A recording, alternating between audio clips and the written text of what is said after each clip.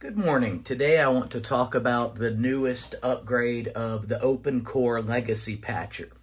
What I'm running here is my 2014 Mac Mini, uh, upgraded to 16 gigabytes of RAM thanks to uh, DOS Dude 1, and the OpenCore Legacy Patcher has it running Sonoma very well. Now, there's a new release of it and the release is 1.4.2 and that's going to be useful in Sonoma 14.4. However, there are some warnings on this version about not to use with non-metal graphics cards. I've got two older Mac Pros that may or may not, and I'll have to look into that later. But right now, I want to upgrade my 2014 Mac Mini. So when you boot, you'll see this screen come up. And the first thing we want to do is just tell it to download and install.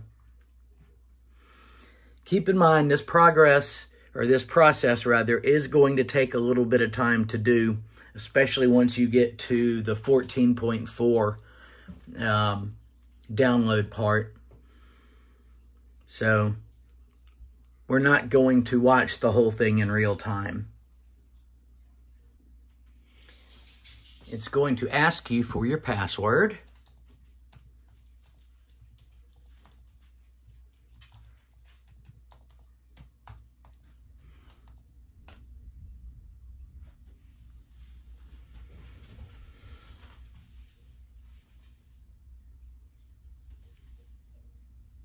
Then it wants you to go ahead and start running the patches and this is always just a case of yes, yes, install to disk.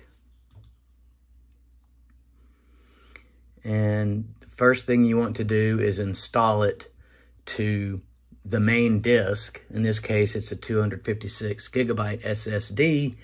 And then I believe it's, yeah, and then it's going to ask you for the EFI volume. And that's important because that's where it boots the patched operating system or learns to. You're going to enter your password again.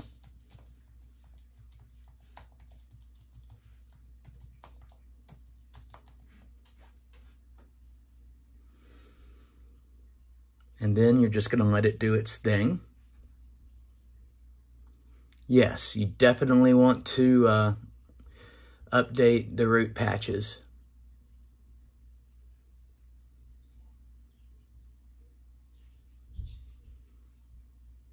Start root patching.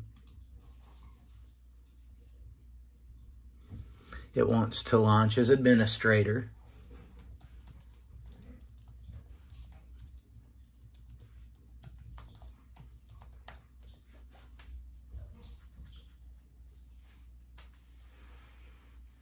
And then it comes back up with administrator rights.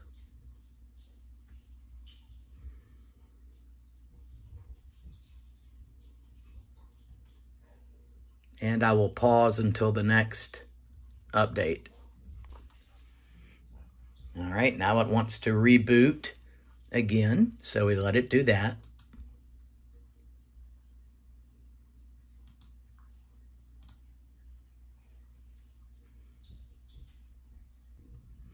Okay, we have rebooted.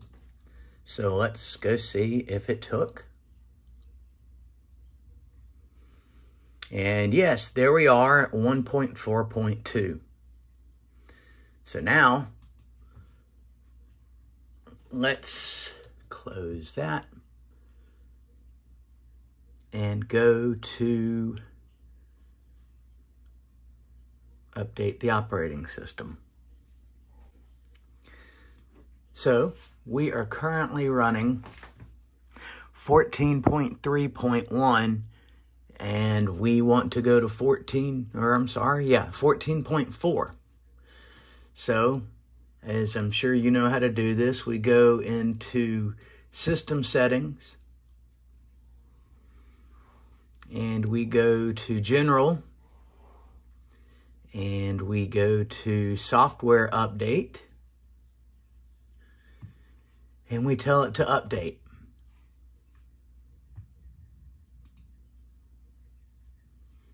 Now this process will take a while and depending on your type of machine dictates how long this will take. So, but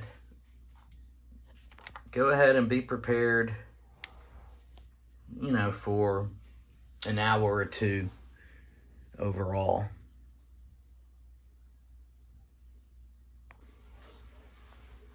And 15 minutes later, we are still chugging along, and it says 35 minutes remaining.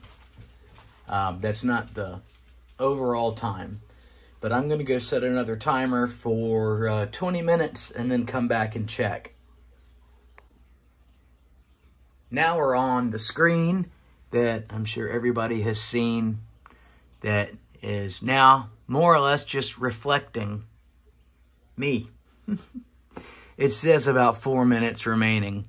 Let's set another timer for 15 minutes and come back. And cool, it looks like it's done.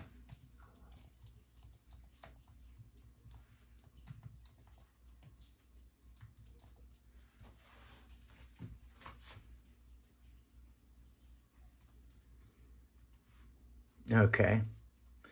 This is normal. It wants to install the root patches. Uh, this audio hijack is not normal. This is something that I'm running. It's a very cool program. It lets you direct different applications to different audio output devices. And I love audio hijack. I believe I did a little video on it a while ago. Anyway, let's let the OpenCore Legacy Patcher do what it wants to do. Wants password again, of course.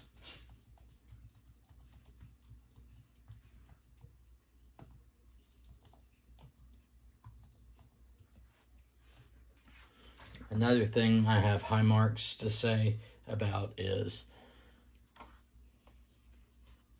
this keyboard from Apple, the uh, the full Magic keyboard.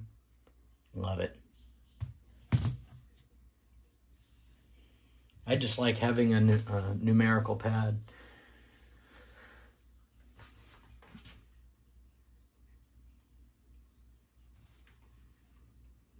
All right, it is done. And now I believe it's going to want me to do a reboot.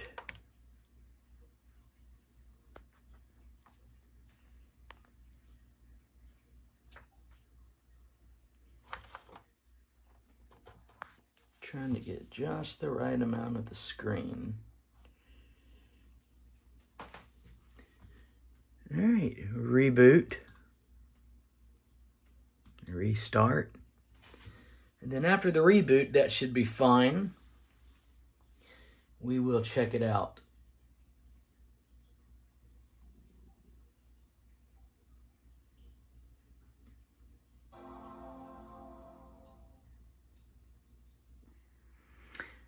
And so, yes, the 2014 Mac Mini with 16 gigs of RAM is now completely up to date and it runs just fine since it's got enough memory even with this other display that I talked about in another video that I just used for a basically a terminal a remote screen session with this Mac Pro 4.1 down here. So I encourage you support the OpenCore Legacy project.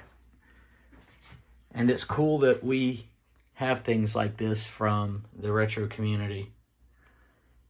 That's it for this one. I hope you enjoyed and found something useful from it.